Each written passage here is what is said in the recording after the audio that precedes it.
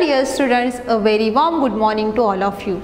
So today we will move for the next point from the lesson motion and measurement of distances. The name of that point is what? How to measure the length of an object. How to measure the length of an objects okay so let's see how to measure the exactly length of a different object so to measure the length of an object we require the scale okay? So with the help of the any measuring tape or the with the help of the scale we can measure the length of an object okay? So see here i have drawn one card okay? Or we can say that we I have drawn here one rectangle. We will measure the length of this card. So to measure the length of an object we have to keep the scale in this way that the zero okay so the zero point of the length should be coincide to the left side. Okay coincide to the left side. So see here i will keep the scale here on the left side. I have kept the zero point exactly at the left point. And to measure the length of an object we have to read the scale division from the right side. Okay to measure the length of that object we have to read the scale division coincide to the right side okay? And here the right side reading is 77 okay? 77 centimeter. It means what? The length of this uh, card or the length of this card is what? 77 centimeter. So in this way with the help of ruler with the help of the scale with the help of the measuring tape we can measure the length of an any object only the thing is that you have to keep in the mind that zero point of the scale should be on the left side and to the when we keep the zero point to the zero mark to the left side and the right side reading we have to read. Okay then only we will get the exactly length of an object. Okay so now let's again take the one more example. We'll measure the length of this marker. So here for now i have kept this marker like this. With the scale the zero mark is to the left side and i will i will measure the length of this. Then it is the right side reading is what? 14 it means what? The length the length of an object of this marker is what? 14 if you can see that the length of the marker is what? 14 centimeter. So see here base reading it means what? Right side reading and this upper side it means what? Left side reading. We can see like this also okay?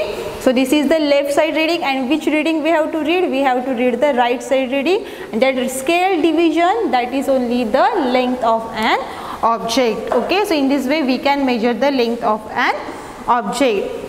But while taking the reading we have to do or we have to follow certain types of the precautions. So which precautions we have to follow whenever we are doing the measurement? Let's see that is what precautions to be taken while using a scale.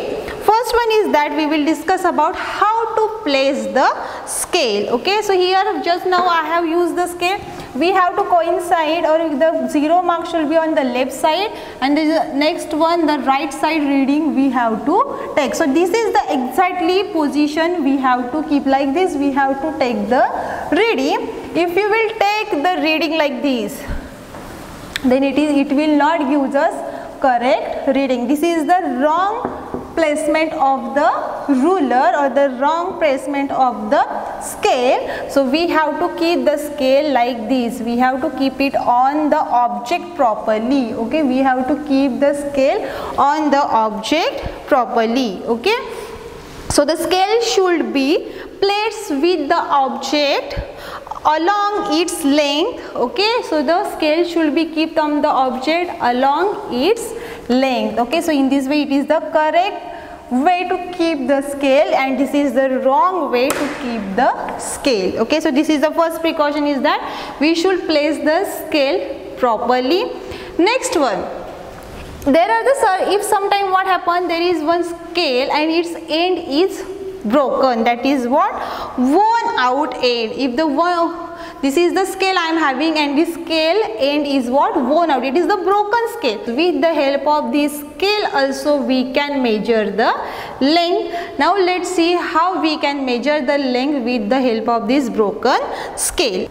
So now let's discuss how to measure the length of an object with worn out ends. The zero reading of the scale we cannot see properly. Or the scale the beginning reading of the or the beginning mark of the scale is get broken.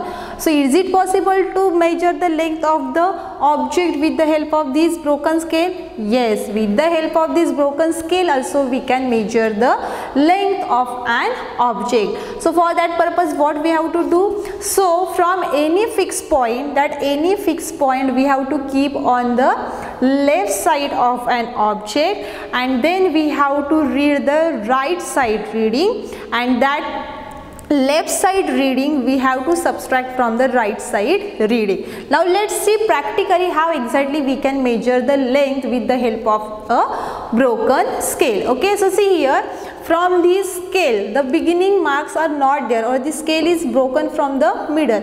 So how we can measure the length from this? So now what i will do this is the fixed point i will take. He from 54 i can see the reading clearly. So this 54 i will keep on the beginning position of this object okay? And last at the right hand side i will take the reading so at the left side what is the fixed point? We are having? We are having the 54 and at the right side what is the reading we are having? We are having 99 okay we are having here reading 99 so see here i will write at the left side we are having the fixed point as 54 okay 54 centimeter. And at the right side what is the reading we are having? We are having the 99 centimeter. We are having reading 99 centimeter. Okay? So how exactly we will find out the what is the length of this? Then for this what we have to do? We have to subtract the final reading minus initial reading. We can say that what?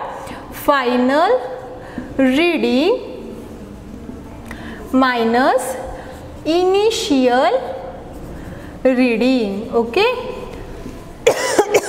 So what is our final reading? Our final reading is 99 centimeter. We will do subtraction. 99 what is our initial reading? 54 so we'll do the subtraction. What is the answer for that? 9 minus 4 it remains 5 9 minus 5 it remains 4 then what is the answer of this 45 centimeter. So what is the length of this card? That is what 45 centimeter. Okay. So with the help of this worn out the worn out part of the scale or the worn out scale or the broken scale also we can measure the length of an object only what we have to do we have to take any fixed point from, from the scale that we have to keep on the left side then we have to read the reading from the right side and we have to do the subtraction from what final reading minus initial reading means the last reading minus beginning reading. So in this way we will come to know what is the exactly length of an any object. Okay. So these are the certain precautions that we have to follow and now the next one is that how to read the reading exactly. That is what how to keep our eyes or the what is the exactly position of an eye. So our eye position should be exactly on the point on which we are taking the reading. Okay so in the image you can see that how we have to read the reading from the scale. Okay our eyes must be focused exactly above the point at which we are taking measurement. Our eye should be focused exactly on the reading at which we are taking the measurement. Okay, so these are the certain precautions. If we will follow these precautions then easily we can take the exact or the accurate reading of an object. So there is one activity that is activity, activity number 3 that you have to perform at your house. You have to measure the length of a certain objects that is you have to measure the length of pen, pencil and eraser. You can take the help of your sibling also. You also measure the length of your pen. You tell your sibling also to measure the length of the plane uh, pen okay to measure the length of a pen and if there is any difference in the measurement then what is the exactly difference that you have to measure? See i'll say one example. I'll explain with the help of one example. Suppose I have measured the length of this marker. It comes as what? 14 if you will measure it and if it comes as what? 13 then what is the difference between the measure? That is 1 centimeter. Okay? So in this way you have to complete the table number 10.2 now we will do one activity that is what activity number 4 how to measure the length of a curved line. So let's discuss how to measure the length of a curved line. So with the help of the scale, okay, it is difficult to measure the length of this curved line. So we cannot take the curve, uh, scale like this, like this. So how to measure the length of a curved line? For that we will use one thread. Here I have taken one thread. So let's see how to measure the length of a curved line by using thread. Okay, for this what we need, we require the one piece of thread. So this one piece of the thread first I will make a one knot at the beginning okay? At the beginning of the thread I will make one knot. So this knot will act as a beginning point that is point A. So this point uh, A I will keep on this curved line and I will start to measure the line. I will keep this thread along with this curved line slowly slowly okay and with the help of this thread I will go along with this curved line. This activity you can also do at the home. Make a one curved line in your notebook. And with the help of the thread you can measure the length of that curved line. Okay so here with the small small place I am measuring the length of that object. Okay. Along with the small small places with a small piece of the thread I am going through the curved line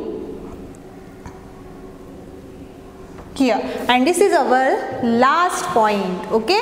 So this much length of the thread now I will measure on the scale. So let's see what is the reading for that.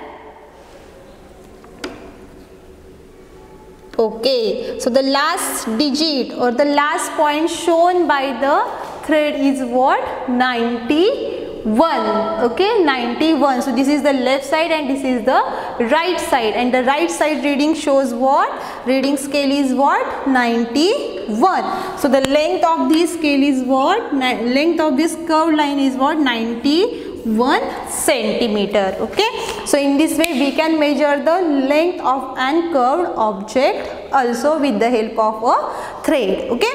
So this is all about today. Today we have discussed about how to measure the length of an object which precautions we should follow and also how we can measure the length of curved object or a curved line okay? So this is the time to tell you goodbye. Here we will stop. We will meet in the next video.